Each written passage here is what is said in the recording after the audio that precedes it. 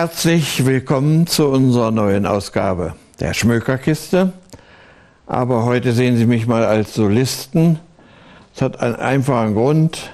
Ich kann mich erinnern an Bertolt Brecht und seine Verszeilen, ja, mach nur einen Plan, sei nur ein großes Licht und mach noch einen zweiten Plan, gehen tun sie beide nicht. Ich habe heute also die Freude, Ihnen allein etwas aus einer alten Bücherkiste zu kramen und muss Ihnen sagen, das geht um einen Dichter, den kein Mensch kennt. Ich kann überall rumfragen, wo ich will. Es wird kompliziert. Er heißt Johann Gottfried Schnabel. Und wenn Sie in einem Literaturlexikon, auch der neuesten Ausgabe, nachsehen, werden Sie feststellen, da stehen noch nicht mal richtig die Lebensdaten dort. Es ist ein Mann um 1692, da ist er wenigstens halt geboren, und dann so in der ersten Hälfte des 18. Jahrhunderts. Und der ist wichtig. Das ist einer der besten Erzähler zwischen Grimmelshausen, Simplicius Simplicissimus und Goethe mit seinem Werther. Also dazwischen gibt es nur einen einzigen und das ist dieser Schnabel und der schreibt in Stolberg im Harz. Heute haben wir so viel Zeit, da kann ich mal sagen, wie komme ich eigentlich darauf, den gelesen zu haben und mich mit ihm zu beschäftigt haben. Dazu muss man ganz einfach sagen, durch den Zufall. Es ist ja, wenn man älter wird, plötzlich festzustellen, das meiste im Leben, was man so getan hat oder was man erlebt hat, war doch mehr oder weniger Zufall und es hat sich dann von sich aus entwickelt. Bei mir war das auch so. Ich habe in Halle studiert und im musikgeschichtlichen Seminar war ich gerade dran gewesen, hatte irgendwas über Bach und brandenburgische Konzerte zum Besten geben müssen. Und deshalb war ich so am Ende des Semesters der Meinung, na gut, kann dir nicht mehr passieren, du hörst jetzt gar nicht zu. Schmidt ist ziemlich am Ende des Alphabets und jetzt fangen die wieder von vorne an. Also vor Weihnachten hast du ja nichts mehr zu sagen, geschweige denn dich darauf vorzubereiten. Und ich habe, also ich weiß noch heute ganz genau, ich habe am Fenster geguckt, da die ehemalige Lehmannsche Villa in Park, war alles so schön, Ferienstimmung. Und dann sahen sich mehrere zu mir um und sagten, bist doch irgendwie aufgerufen worden. Hatte ich gar nicht mitbekommen, um die Wahrheit zu sagen. Und tatsächlich hatte der schon wieder Schmidt beim Wickel. Und ich hatte jetzt ein neues Thema, das sollte ich jetzt bis zum Ende des Semesters noch abhandeln. Und zwar ging es um das barocke Gesellschaftslied.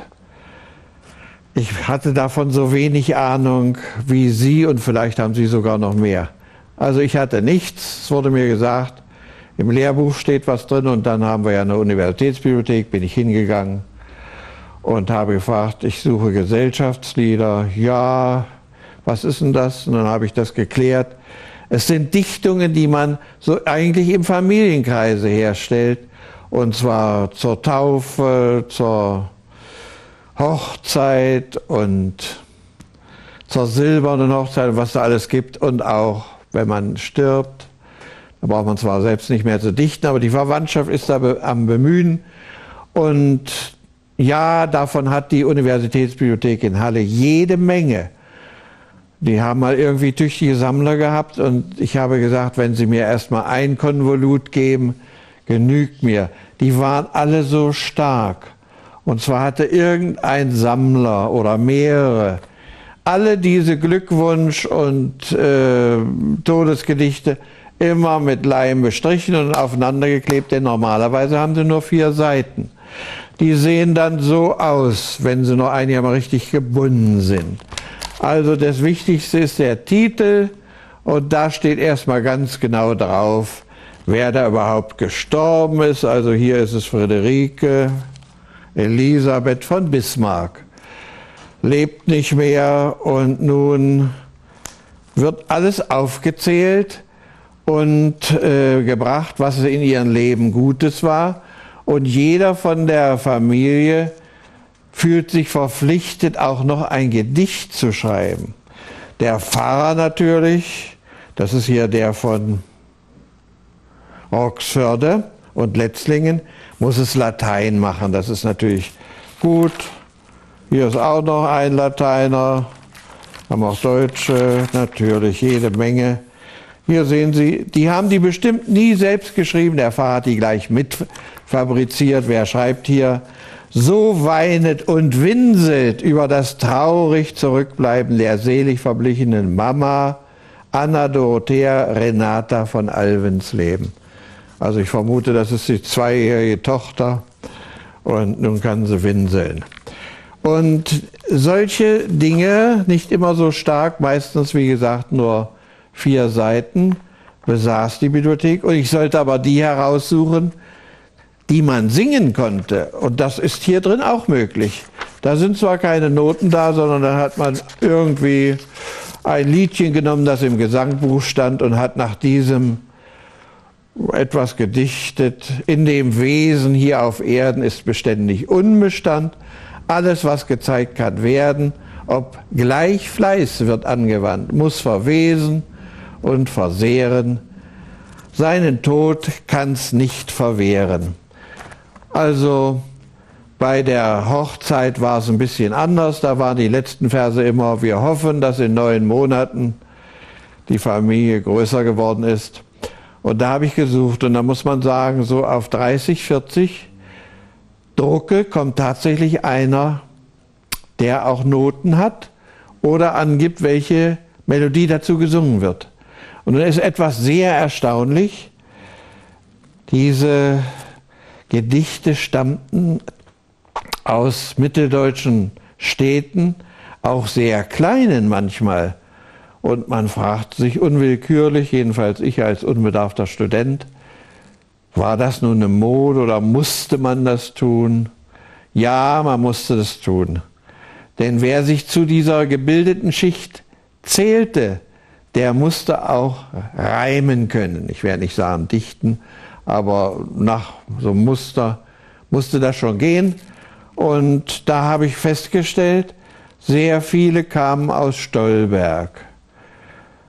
Und das war mir ehrlich gesagt nicht so klar, Stolberg war ein selbstständiges deutsches Land und davon gab es sogar zwei. Einmal Stolberg-Stolberg und Stolberg-Rosslar. Und jetzt kann noch ein ganz schlauer sagen, hat er eins wieder vergessen, Stolberg-Wernigerode. Das waren selbstständige Länder. Und da habe ich mal nachgelesen, wieso die so viel gedichtet haben. Ja, sie hatten eine höhere Schule, wenigstens in Stolberg. Die hatten auch einen Kapellmeister in der Schule, der musste mit diesen Schülern singen, der musste auch über Land mit dem Chor und den Instrumentalisten ziehen. Und dann habe ich mal nachgesehen, von Stolberg zur Beerdigung nach Eisleben, das sind fast 50 Kilometer. Das möchte ich also heute keinen Schüler mehr zumuten und vielleicht haben sie damals ja auch einen Pferdewagen gestellt bekommen. Alles andere ging ja nicht. Und die bekamen aber dafür Geld und zogen dann eben wieder zurück und das hat für die Leute damals eine große Rolle gespielt. Und da steht plötzlich drunter, dass da sogar ein Dichter lebte, der allerdings Kammersekretär und Kammerdiener war. Und der Mann heißt Johann Gottfried Schnabel. Und das ist dieser wichtige Dichtersmann, auf den wir in unserer Literaturgeschichte gar nicht verzichten können. Und ich muss Ihnen sagen, ich bin in der Johann Gottfried Schnabel Gesellschaft sogar, die schon 20 Jahre existiert. Und wir haben sogar Mitglieder in Japan oder in Frankreich. Denn ins Französische ist das Hauptwerk von Schnabel auch vor einigen Jahren übersetzt worden. Es heißt die Insel Felsenburg. Wie ist der Mann zum Dichter geworden? Wie ich schon gesagt habe, Zufall. Er ist geboren in Sandersdorf. Das ist ein Ort bei Bitterfeld, von dem ich vermute, dass er nach der neuen Gemeindeordnung da schon eingemeindet ist.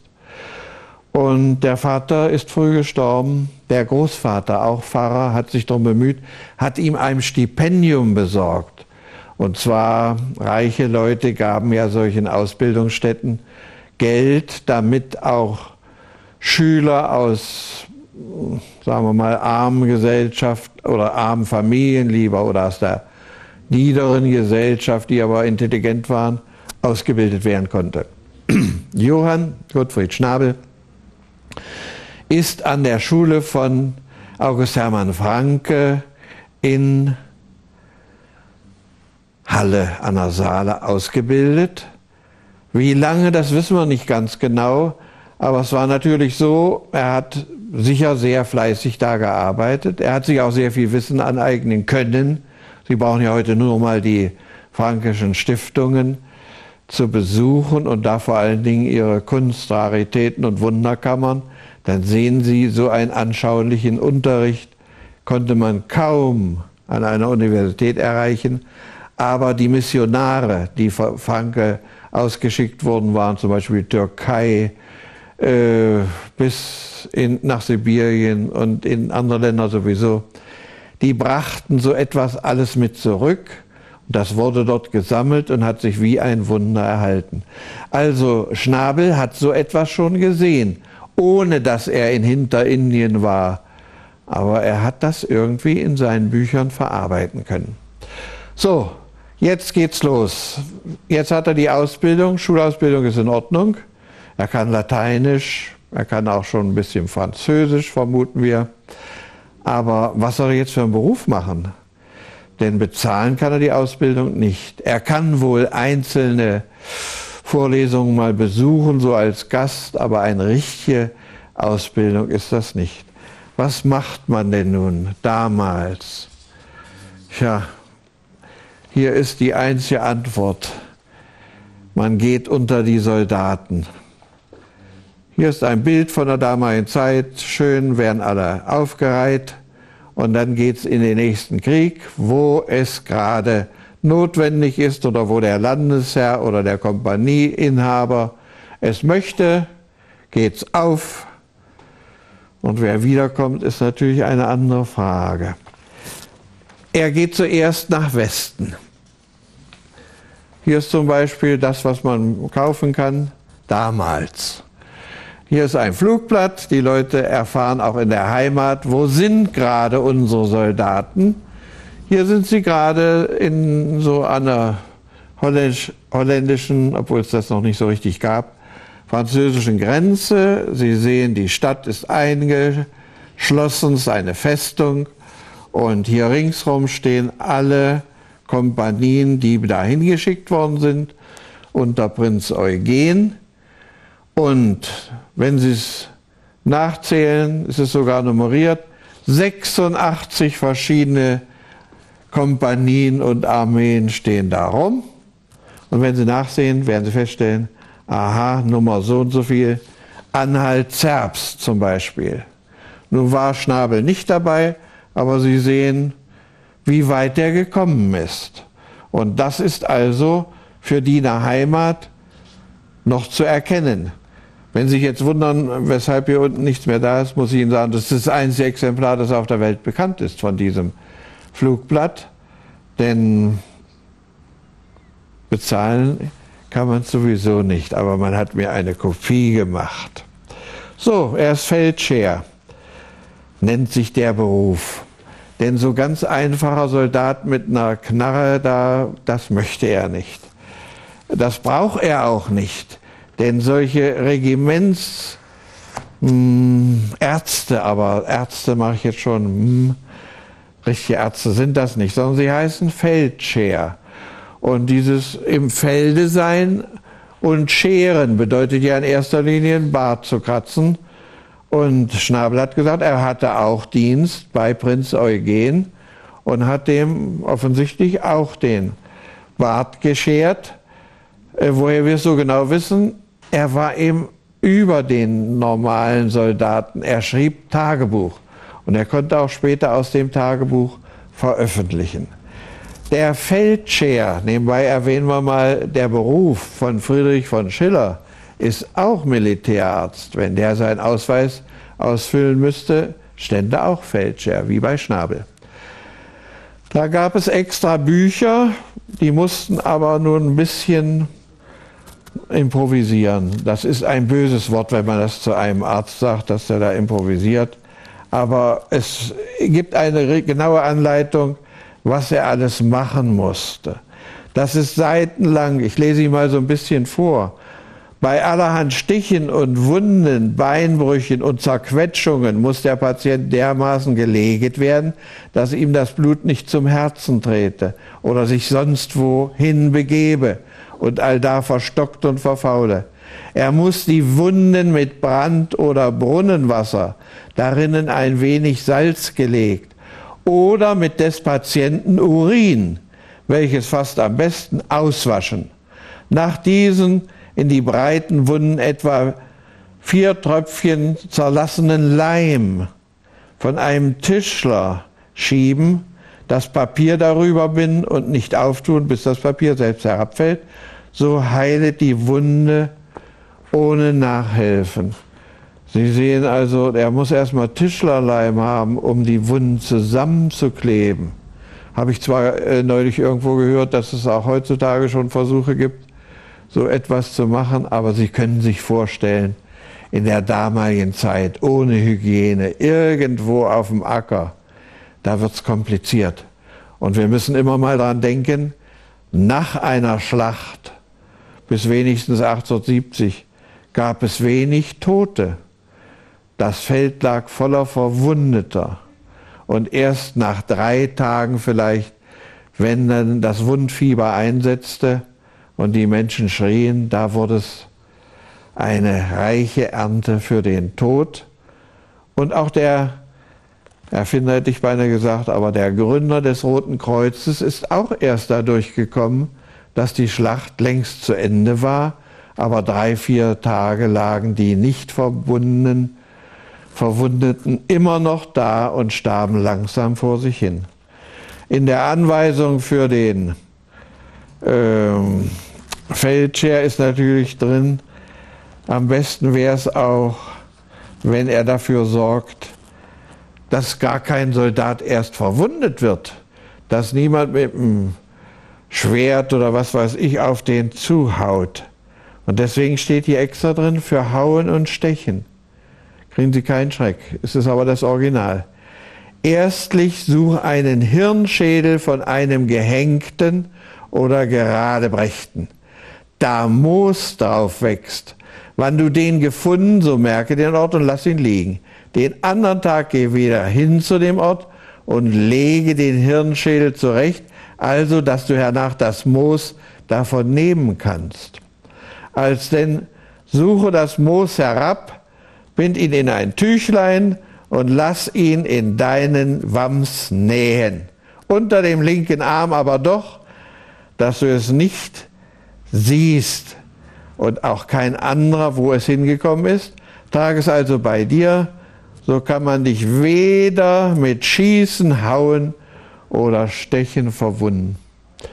Sie sehen, das war Schnabels Umgebung. Und da hatte er natürlich auch eine Uniform zu tragen. Und für die Uniform gab es auch Vorschriften zum Beispiel in Stolberg, die mussten auch zum Reichsheer etwas stiften, nämlich Soldaten. Und da war vorgeschrieben, wie die aussahen. Schwarzer Hut mit weißer Schnur eingefasst, ein rotes Halstuch, das zweimal um den Hals geht, einen weißen Reiserock mit roten Aufschlägen und gelben Knöpfen, noch einen Leibrock, ein paar kalbfellende Hosen, ein Hemd. Jetzt wundern Sie sich vielleicht, haben die keine Unterhose? Nein, das gab es damals im Reichsheer nicht. Sie kriegten nur aus Kalbsfell eine Hose. Ich weiß nicht, was sie da nun noch reinstecken sollten, vielleicht Papier. Aber das war sehr schwer für einen Soldaten. Und dann noch Tag und Nacht marschieren und dann noch ein Gewehr und ein Säbel umgeschnallt. Und das hat Schnabel mitgemacht, bis nach Frankreich und von Frankreich wieder durch Mitteleuropa bis an die Weichsel, bis praktisch an die russische Grenze und dann wieder zurück. Und so ging die Zeit hin und er hatte im letzten Ende immer zu tun mit dem, was ich ihm gerade erklärt habe. Hier ist ein zeitgenössisches Bild. Hier oben, was äh, hat ein Feldscher zu tun? Also hier oben sind sie beschäftigt mit Einrenken von Gliedmaßen. Hier unten liegen sie irgendwie noch auf einer Bahre. Und dann gibt es ein Bild mit, da steht hier dann der Tod und gräbt sie ein. Das hat er also gemacht. Schon wenn Sie so einen Arbeitstisch sehen von einem Feldscher aus der Zeit, dann sehen Sie, es sieht vielleicht eher nach aus nach Sattler, Schuhmacher, Fleischer, Tischler, was weiß ich. In erster Linie sehen Sie Messer und Sägen. Das war Schnabels Beschäftigung. Und dann wurde er entlassen und ging in einen Ort von einem kleinen Land, nämlich Sachsen, Weißenfels, Querfurt. Und dort versuchte er nun als Arzt und Bader zu wirken, war aber schwer, weil eben Querfurt war auch eine Garnison und da war sowieso ein Feldscher. Und wenn die nicht im Krieg war, kriegte der auch kein Geld. War also angewiesen, dass die Leute kamen, um sich mal waschen zu lassen oder irgendwelche Wunden zu verbinden oder Salben schmieren zu lassen. Und die wollten natürlich keine Konkurrenz haben. Das war unmöglich. Das hatte man nicht gern. Auch heute nicht. Und jetzt wissen wir es nicht ganz genau. Wir vermuten es mal. Denn 1724 ist plötzlich Schnabel Bürger in Stolberg und ist angestellt am Grafenhofe. Der Grund dafür ist sicher schwer heute zu erkennen, aber so ein Feldscher war ja sozusagen, naja, man kann es schlecht vergleichen, sowas wie ein Unteroffizier, also ein verlässlicher Mann. Und äh, die Gräfin von Querfurt war eine Tochter aus dem Grafenhaus in Stolberg. Das ist ja nicht sehr weit entfernt. Und sicher hat er da schon mal Briefe hingebracht. Und ein Feldscher kriegte dann auch noch eine besondere Beschäftigung. Der stellte für die Hofdamen so alle möglichen Schminken und ich weiß nicht, da ich die Dinger nicht benutze. Also Schönheitswässer und Parfüms her. Und das wird er da auch gemacht haben. Und so ist er hin und her gegangen und dann haben die gesagt, in, kommt zu uns, in Stolberg ist schöner als in Querfurt. Noch zumal der Querfurter Landesherr verschuldet ist, sodass der Kaiser seine Kasse führen muss. Und so ist er nach Stolberg gekommen. Und hier ist das schöne Stolberg, oben das Schloss, so in, auf halber Höhe die Kirche und unten die Häuschen fürs Volk und da war Ordnung. Schnabel wohnte unten. Es ist sogar ein Haus bezeichnet. Da wissen wir es, da hat er gewohnt. Da wurde nämlich auch eine Druckerei eingerichtet. Und oben das Schloss, da hat er gearbeitet. Er musste jeden Tag da hoch. Schon allein nicht, um nur zu arbeiten, sondern weil er dort an der Dienertafel sitzen durfte und da Essen bekam. Und das war für einen Mann, der dann geheiratet hatte und mehrere Kinder hatte, schon ganz gut, wenn er da mitessen konnte. Und vielleicht war er auch sehr sparsam und knüpfte manches in sein Taschentuch und trug es seinen Kindern nach Hause. Denn viel bezahlt wurde an so einem Hof nicht. Und meistens war es ja so, wer sich nicht irgendwie selbst noch ein Geschäft machen konnte. Ich nehme mal an, der Schnabel mit seiner ganzen Apotheke, also nicht Apotheke, sondern Schönheitsapotheke, denn ein Apotheker, der lebte ja in äh, Stolberg und der hätte es sehr übel genommen, wenn nun einer auch noch anfängt, seine Arzneien nachzuahmen. 1731 erschien ein Buch das heißt, mit vollständigen Titel kann ich es nicht auswendig, aber es geht los, äh, dass es, äh, oder ich sage es mal so heute, sind einige Abenteuer drin von Schiffsreisenden. Und da stand drauf, dass das aber nicht äh, ein Roman ist in dem Sinne, sondern steht drauf aus hinterlassenen Papieren und die sind dann von einem gewissen Guy Sander sortiert und aufgeschrieben worden und bearbeitet. Und dieses Buch war ein ungeheurer Erfolg in einer Zeit, wo ja gerade die Leute wussten durch Robinson Crusoe, dass es tatsächlich da irgendwo in Hinterindien nach Indien überhaupt hin und was da hinterher kam, das war alles sehr, sehr diffus im Verständnis, dass man dahin gehen konnte. Man ging also von Deutschland nach Holland, siedelte sich an auf einem Schiff, das nach Ostindien fuhr.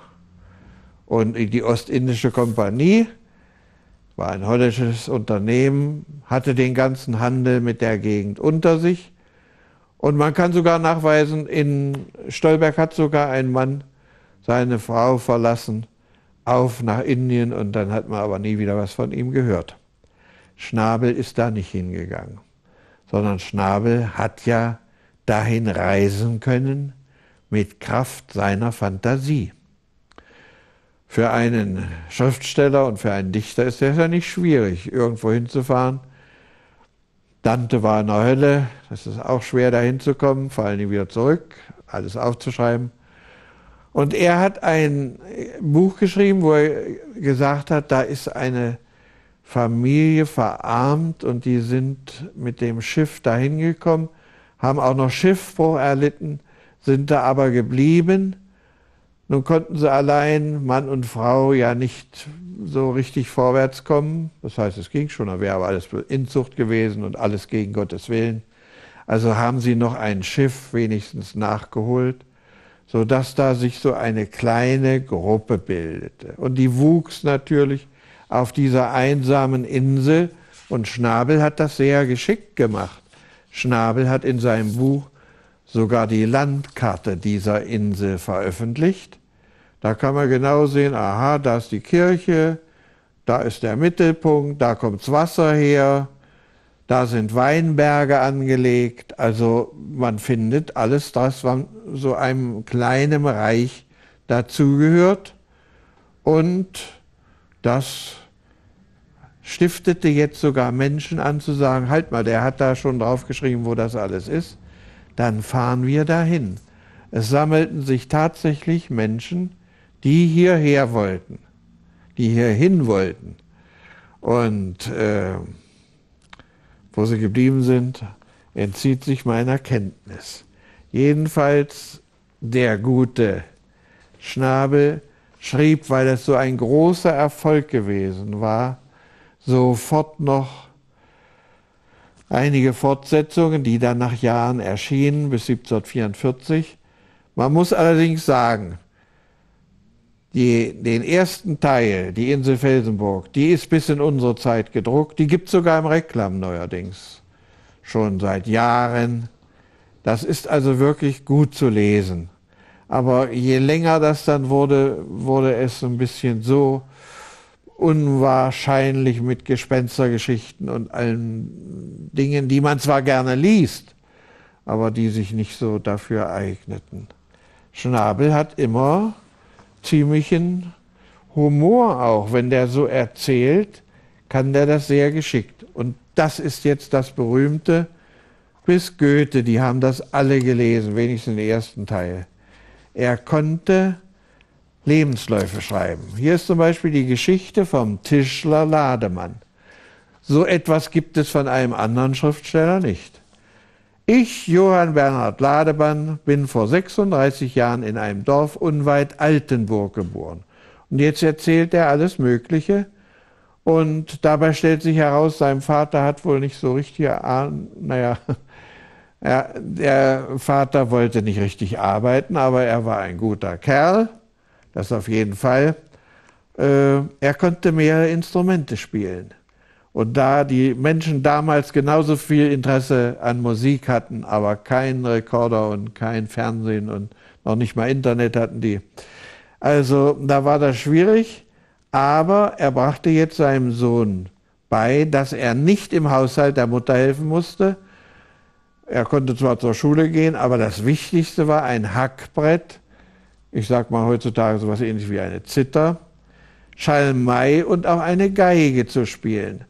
Und dann hat er geschrieben, denn Schnabel schreibt sehr gut, und so sah ich denn schon in meinem zwölften Jahr einen musikalischen Fuscher, so ähnlich wie ein Ei dem anderen. Und äh, das war natürlich für die Kirchenmusik nicht unbedingt das Brauchbarste, aber der Pfarrer war mit einverstanden. Und jetzt ging es aber da vor allen Dingen, aber war ich ihm ein sehr nützlicher Bursche, wenn wir um die Neujahrszeit singen gingen und auf den umliegenden Dörfern das neue Jahr einsammelt. Dies währte gewöhnlich 14 Tage bis drei Wochen. Wir nahmen aber täglich selten mehr als ein oder ein halbes Dorf vor, setzten uns nachher abends in die Schenke, wo ich gewöhnlich mein kleines Hackbrett und des Schulmeisters Geige aufzuheben gegeben hatte, fingen an zu singen und musizieren, nahmen uns auch öfter kein Bedenken zum Tanz aufzuspielen. Denn da Alt und Jung über Geld gab und uns Virtuosen mit offenem Mund anstaunte. Von allem, was wir verdienten, bekam ich den halben Teil. Es müsste denn sein, dass der Schulmeister die Teilung nach seinem Gefallen gemacht hätte, wie ihn denn mein Vater, der sich nachher einst mit ihm zankte, deshalb eines offenbaren Betruges beschuldigte. Ich meinerseits war indessen vollkommen zufrieden, wenn ich, solange es währte, alle Tage acht, zehn, ja sogar bis zwölf Groschen verdienen konnte, wofür mir meine Mutter rote Brustletze, schöne Schuhe und Strümpfe kaufen musste, bunte Bänder aber bekam ich zur Genüge von den Bauerntöchtern auf den Hochzeiten geschenkt. Eines Tages kommt er in eine Buchdruckerei und sieht, da liegen so viele Liedblätter. Die gab es damals auch zu kaufen. Und dann, da er lesen kann, guckt er mal nach. Das sind schöne Lieder, die kennt er gar nicht. Das erste, Lisettchen hat Studenten gut im Arm und so weiter. Das andere Lied, wer kann die kranken Jungfern trösten und so weiter. Das dritte, mein Hans kommt mit mir ins Korn und so weiter. Das vierte, äh, Schmätzchen schmeckt wie Zuckerkant. Sie sehen, es sind sehr schöne Lieder. Ich habe mich an das Volksliedarchiv in Freiburg im Reichsbrau gewendet, um mal herauszufinden, ob die diese Volkslieder noch kennen. Eins kannten sie, das klang so ähnlich, aber alle anderen sind unbekannt.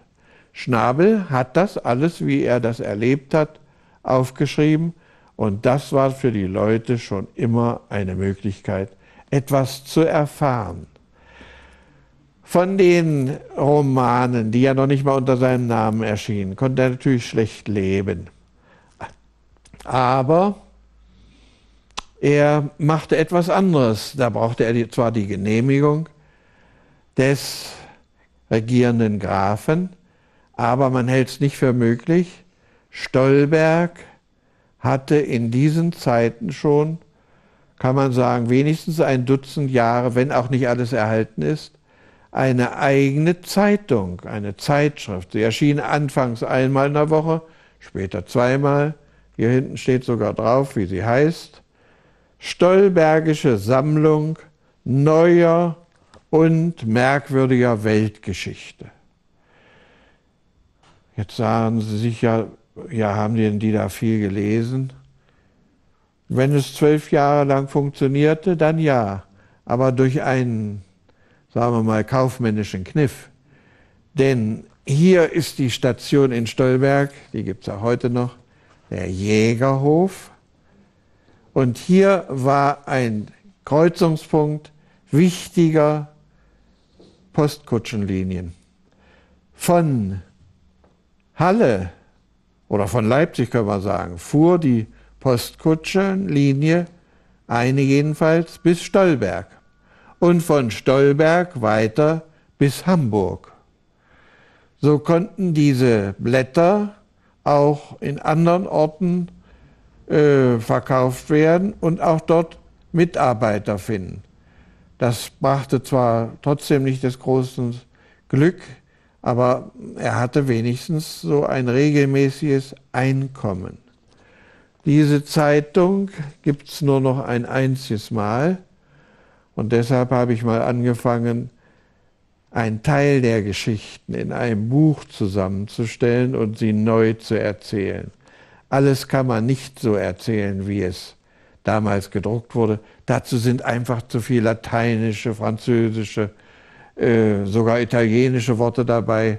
Aber das war eben hm, damals für gebildete Leute, andere kauften sowieso keine Zeitung.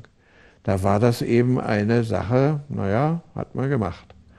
Und da, die Nachrichten sind hochinteressant. Als in Hamburg der französische Gesandte Poisson mit seiner Kutsche, die von sechs Pferden gezogen wurde, in eine enge Straße gefahren war, kam ihm der Wagen des königlich dänischen Residenten samt Gemahlin entgegen, welche vergleichsweise diplomatische Konflikte hervorrief. Gesandter Poisson schickte eilig seinen Lakaien dem dänischen Widersacher entgegen, er möge den Weg durch die Gasse freigeben und rückwärts fahren. Oho, der dänische Resident machte umgehend aufmerksam, dass sein Gefährt bereits über die Hälfte des Engpasses zurückgelegt habe. Darauf befahl Poisson im Ministerrang seinen Bedienten, sie müssten sofort den Wagen des Widersachers rückwärts aus dem Wege schieben. Dabei brach eine Deichsel und die Frau des Residenten rettete sich aus der zusammenkrachenden Kutsche in das nächstbeste Haus. Jetzt wurden die dänischen Lakaien ziemlich ungemütlich. Doch bevor Fäuste und Fußtritte zu höheren diplomatischen Verwicklungen und europaweiten Konfrontationen geführt hätten, trennten das anwesende Hamburger Volk die Streithähne. Friedwärtige Hände und Händler waren dort schon immer viel beliebter. Das sind Nachrichten, wie sie auch manchmal heute noch in Zeitungen stehen. Aber da will ich jetzt nichts weiter finden. Und die sind aber amüsant, wenn wir die heute lesen. In Hauptstadt, in, in, Entschuldigung, in Hemstedt, englische Grafschaft Herford, war es nach vielen Jahren nicht zu vermeiden, den Dorfteich zu säubern.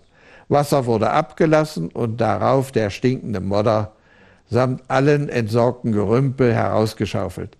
Welche Überraschung!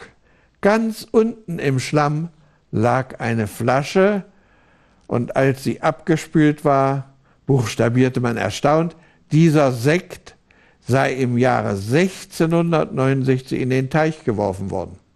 Die Versenker wollten angeblich herausfinden, wie lange sich das Getränk halten würde.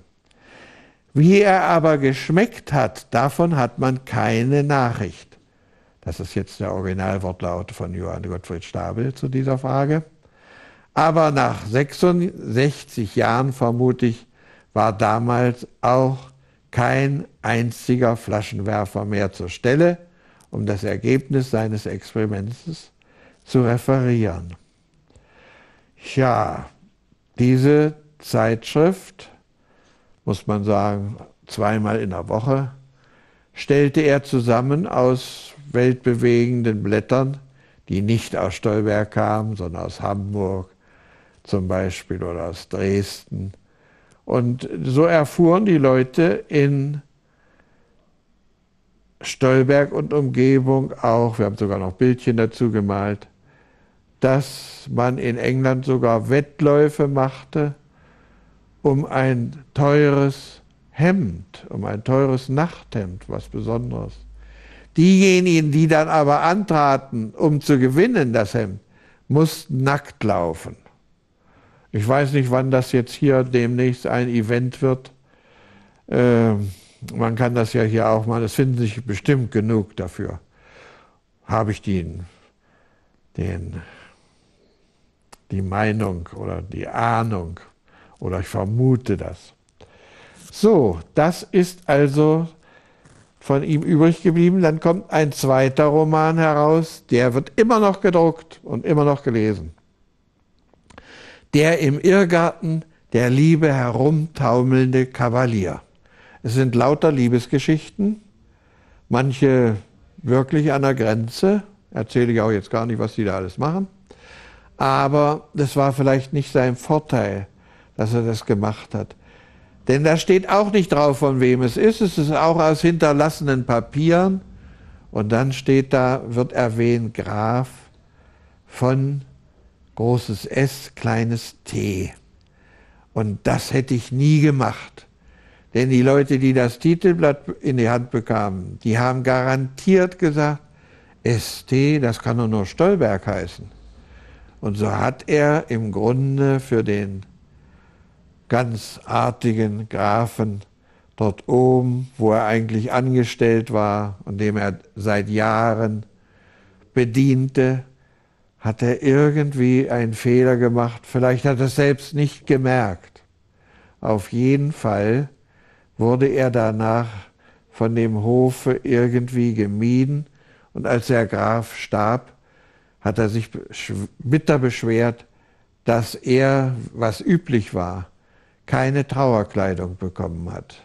Denn den Hofbedienten wurde dann schwarzer Stoff zur Verfügung gestellt und er bekam das als einziger nicht.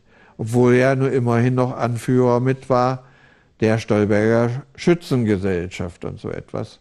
Er war ein bekannter Mann in dem Ort. Er schrieb über Hochzeitsfeiern an der Stelle und wie man sich das äh, geschmückt vorstellen musste. Er tat also wirklich eine ganze Menge. Aber er hat da irgendwas versiebt, was wir heute nicht mehr kennen. Wir wissen nicht, wann er gestorben ist. Wir gehen mal davon aus, weit ist er nicht mehr gekommen. Er ist, die Frau war schon viel eher gestorben, die Kinder waren außer Landes. Aber wir haben vor kurzem äh, Zeit eine Nachricht bekommen, dass in äh, Harzgerode, das ist ja nicht weit entfernt, in der Apotheke noch ein Lehrbrief sozusagen vorhanden war und ist. Und da steht drauf, dass da ausgebildet ist ein Sohn vom gestorbenen Hofkammerdiener Schnabel. Und das kann ja nur äh, sein, das ist ausgestellt wohl 1800, Entschuldigung, 1748. Dann kann es auch nur sein, in der Zeit muss also Schnabel gestorben sein. Dass es noch Bücher gibt, die ihm zugeschrieben werden oder wurden, die viel später erschienen, lag daran, dass er ebenso gut schrieb und so gut erzählte und etwas zu erzählen hatte, was kurios und merkwürdig war, was man also hm, gerne las. Und das wurde vielfach nachgedruckt. Und so ist er eigentlich, wenn man ganz genau ist, aus den Buchhandlungen nie äh, verschwunden, denn auch dieses äh, die Abenteuer der Seefahrer hat Ludwig Tieck dann, fast 100 Jahre später, die Insel Felsenburg genannt. Und die Insel Felsenburg empfehle ich ihm zu lesen. Das könnte also eine gute Lektüre sein von einem Mann, der ein schweres Leben gehabt hat. Nicht einfach, aber wer hat schon ein einfaches Leben? Noch zumal als Schriftsteller. Also, ich wünsche Ihnen, wenn das Buch mal in die Hand bekommt, dass Sie das nicht ins Altpapier bringen, sondern das ist lesenswert aber nur der erste Teil. Und da habe ich auch keine Sorgen, denn der erste Teil wird heutzutage noch gedruckt und verkauft. Dankeschön.